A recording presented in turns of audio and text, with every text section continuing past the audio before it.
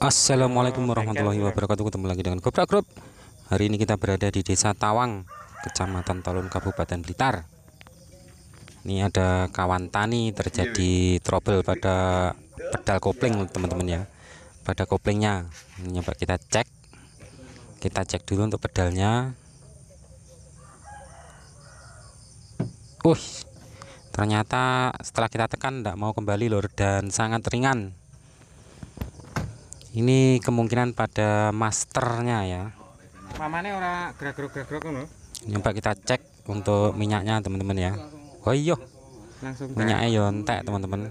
Jadi ini akan kita cek dulu untuk master pusatnya kopling ya.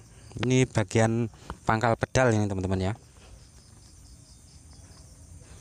Kita cek untuk e, terjadi kebocoran apa enggak nah ini teman-teman. Nah ini. Ini adalah master pusat kopling yang bagian atas ya. Ini ada dua baut kiri sama kanan ya. Kalau mau dilepas ya. Ini nyoba kita cek. Ternyata tidak terjadi kebocoran lur. Cuman ngembes sedikit aja. Ini kayaknya enggak enggak bermasalah kalau cuma ngembes sedikit semacam ini ya. Ini ada dua baut nih kalau mau dilepas bautnya ada dua lur ya kiri kanan ya. Kayaknya yang bagian atas sama nama aja lur. Ini nyoba kita cek untuk bagian bawah ya. Kita harus tiarap. Balah ternyata terjadi patah pada sogoknya teman-teman ya. Nah ini terjadi patah. Ini artinya master pusatnya karetnya ndak ndak bermasalah lur. Yang bermasalah adalah sogoknya ini patah. Nek wong diganti anyar kan sak sunduke. Ini coba kita lihat. Kita cek lagi. Ini langsung aja kita lepas lur untuk sogoknya yang patah ya. Memang e, gejalanya gendalanya kalau elep semacam ini lur. Banyak kejadian e, semacam ini ya. Kasus-kasus semacam ini patah pada sogoknya. Kopling.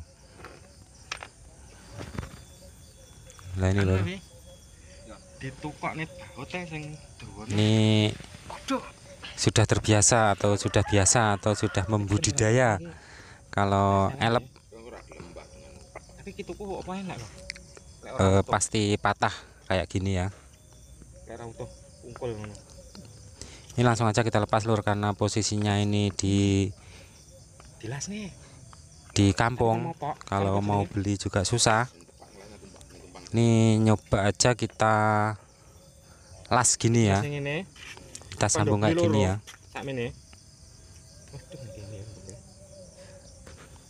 Jadi ini kita sambung aja. Kita laskan pada tukang las lur ya. Karena ini masih terlalu pagi teman-teman ya. Jadi belum ada toko buka. Dan ini mobilnya eh, mau dipakai lagi. kondo beli kiri kanan jadi ini kita laskan aja ke tukang las ya. Kita sambungkan gini ya. Ini akan kita kendorkan untuk nepelnya angin-angin lur ya. Ini ya. Ini nepel angin-angin ini pistonnya piston kopling.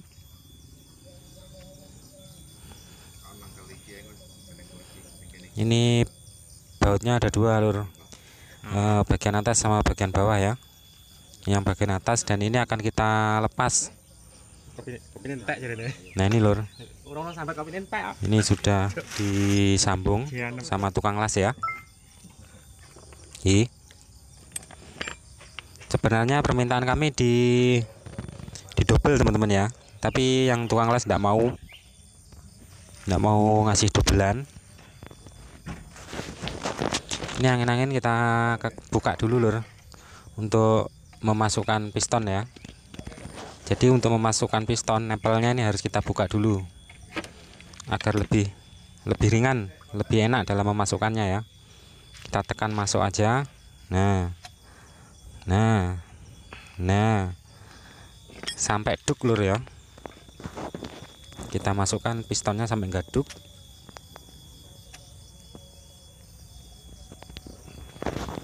oke lur sudah gaduk kita tekan juga pakai uh, as ya.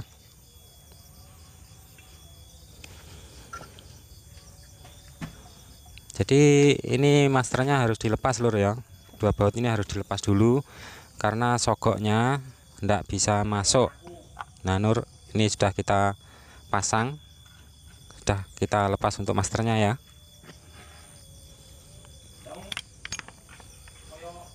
Ini bautnya akan kita kencangkan.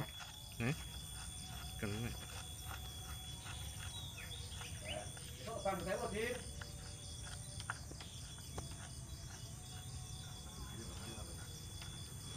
ini. Dua baut. Ini baut 12an teman-teman ya.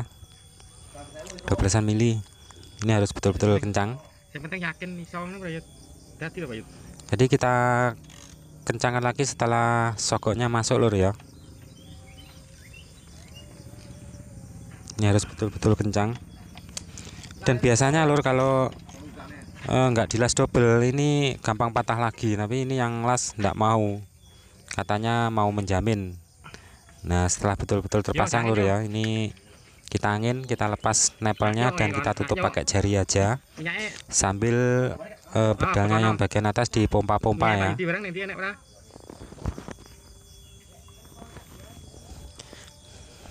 Nah ini Nur, levelnya kita tutup pakai jari aja ya. Nah semacam ini ya. Sambil bagian atas dipompa-pompa terus. Sini ya yang ditutup ya. Sampai anginnya keluar lur ya. Munggah pol.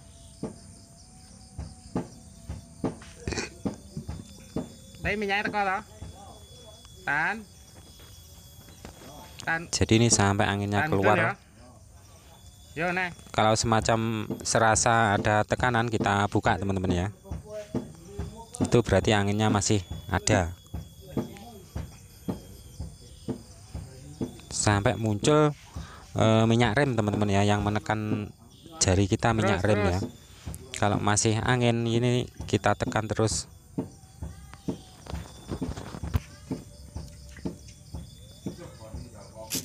Tan. Woi. Nyapa?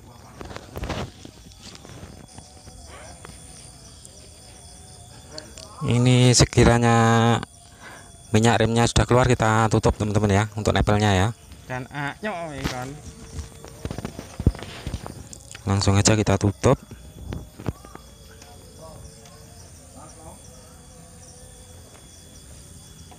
Terus kita pakai kunci ya untuk mengencangkannya. Ini pakai kunci 8 lur. Pakai kunci 8 mili ya.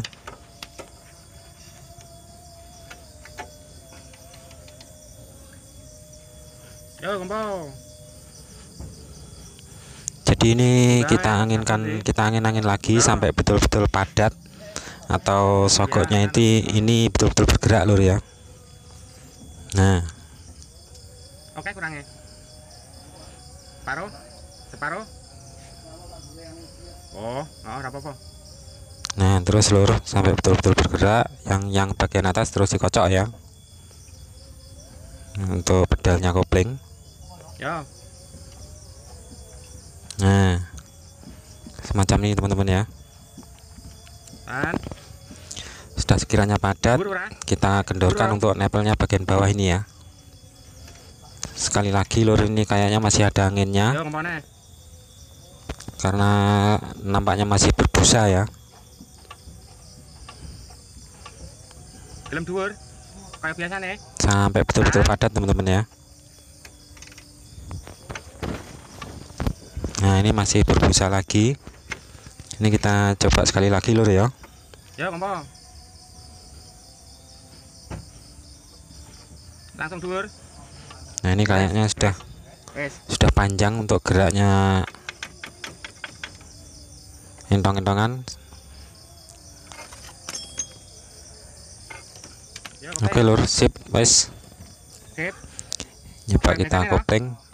Sip, Yo. tes lur.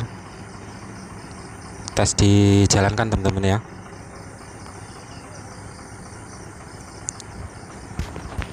Wes ngono lur, semoga bermanfaat. Jangan lupa like, comment, dan subscribe. Wassalamualaikum warahmatullahi wabarakatuh. Undur.